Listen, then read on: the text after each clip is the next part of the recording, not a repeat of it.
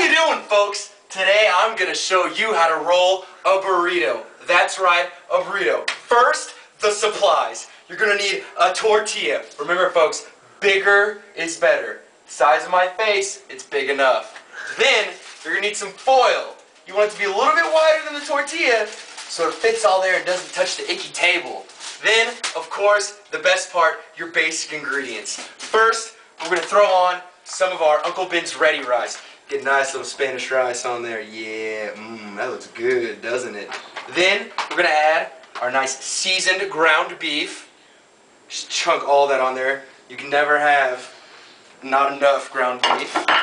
Then, we got some of our shredded cheese, of course.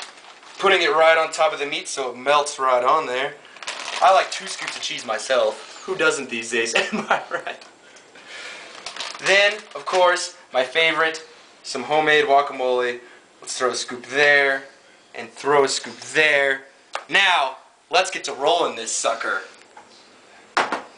First step is you want to grab each of these ends of the tortilla right here, and you're going to put them together and just rub throughout all the ingredients. You can do it with the front, the back. You really want to get all the ingredients mixed up so you have a little bit of bite of every ingredient every time you take a bite of your burrito. Next step, the beginning step. Here we go.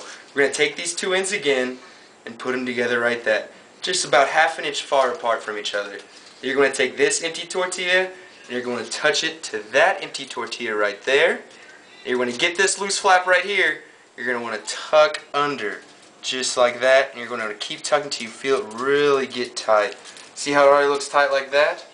Then you're going to slowly move it down this foil and you're going to grab this end right here. This is the most important step. You want to want to push it into these sides.